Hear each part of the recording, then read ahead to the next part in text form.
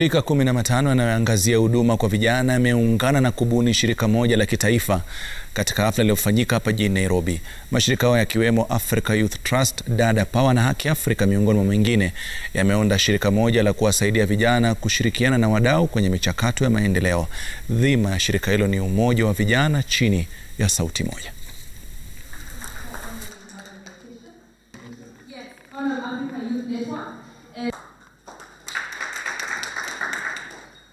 Uh, the meeting today is to launch the consortium because uh, the consortium is going to have um, uh, it's going to have one voice where these organizations prevent, present a unified uh, point of engagement with the government rather than have competition amongst themselves where each organization has its advocacy issue that seeks to have government to support in.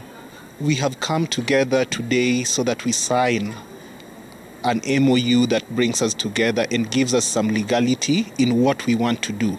Secondly, um, we have been working as a loose network from different counties, and this is, I think, the first time that all of us meet so that we are able to know who is where and who does what under the umbrella.